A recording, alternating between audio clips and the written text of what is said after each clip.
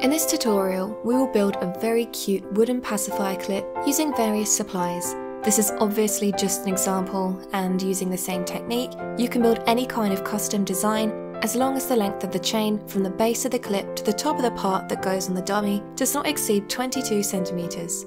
In this example, we will make a personalized dummy clip and form the name Chloe with our letter beads. If you also want to make a personalized one, make sure that the name is not too long or use a shorter version so you can still meet the safety standards of maximum 22 centimeters. Let's start. Material used. For this particular design, I used the following parts. White satin cord, 60 centimeters, one wooden clip, natural color, three wooden flat round beads, natural color, nine wooden flat round beads in green, two wooden safety beads, natural color, five wooden letter beads, one wooden 3D frog, green, one wooden star, natural colour.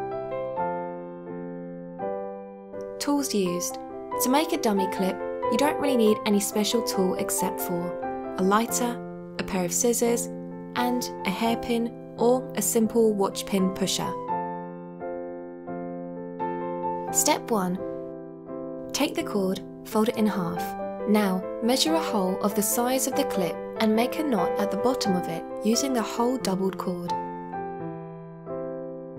Make sure that the clip fits inside the upper part.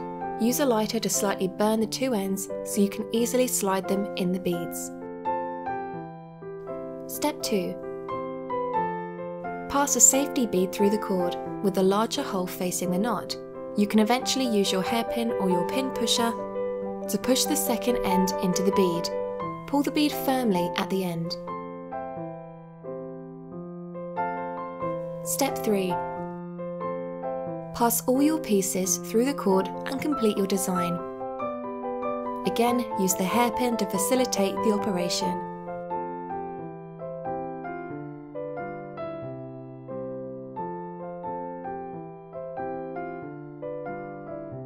Step 4.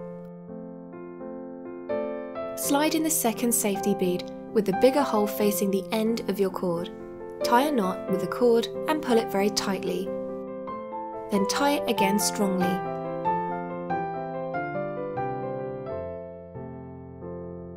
Step 5. Pass the final part of the cord through the clip, pull the two ends on the back and tie them firmly.